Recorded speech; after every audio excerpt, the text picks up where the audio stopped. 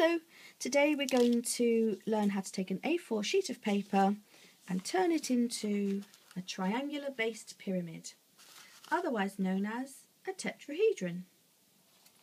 So we start with the A4 sheet of paper and fold it in half along the length. Make sure the corners are nicely aligned and then we've got a line all the way down the middle. The next fold is really important you're going to take this corner and make sure you've halved that corner. So the, this angle is going to be cut in half by the piece of paper that's on top of it and this corner, the 90 degree, the right angle is going to be on the line, on the fold that we've created. So that is the make sure it's all in the right place before you fold it down, hold it firmly and flatten that edge.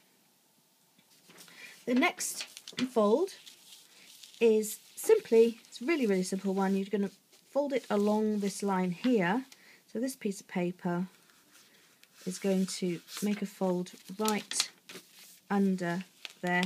And your guide once you've made the fold you've got this angle. So this angle is going to be, hmm, I wonder what the relationship between this angle and this angle is. Your guide is to fo uh, fold that piece of paper so that it follows that fold there. And then squish that one down. Now we have something rather beautiful. Except we've got this annoying little bit here. Well, this triangle has some quite interesting properties on its own, which we can look at if we want to. At the moment, we just want to get rid of it, so we fold it over and tuck it inside. Bye-bye triangle. So, we now have another triangle. Now, what can we, what do you notice about this? Is there a, a relationship between the edges and the corners or the vertices of this triangle? Hmm, wonder how we could find out more. Well, we have a nice little line here, which is we know is halfway between the base and the apex of the triangle. We're going to just fold that down and see where it goes. Well, we do actually want to control it a bit. We want it to be right on the edge there and fold it down nice and tightly. Again, what is the relationship between this triangle, that triangle and that one? And what have we made? Well, we, have made a boat. Ha! a boat. Right, so we're now going to fold. Let's see if we can find out if this triangle is the same as this one.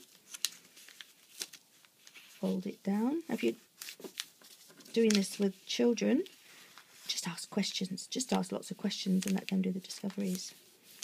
And if you are a child, keep asking yourself questions.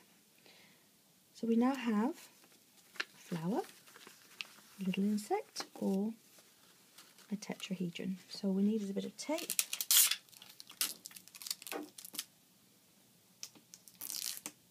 I do need a bit of tape, and I will get a bit of tape. Here we go. Bit of tape. Doesn't have to be, you can just do it loosely along one edge, or you can do it along the length. I'm going to leave it open just for a second because there's some other things you can do with this. You can make this into a little box, you can put things inside, and later we're going to be making a really, really big one that you can actually get inside yourself. That'll require a little bit more filming. So we now have one triangular base pyramid, tetrahedron, which just means a polyhedron with four faces. One, two, three, and four. Thank you very much.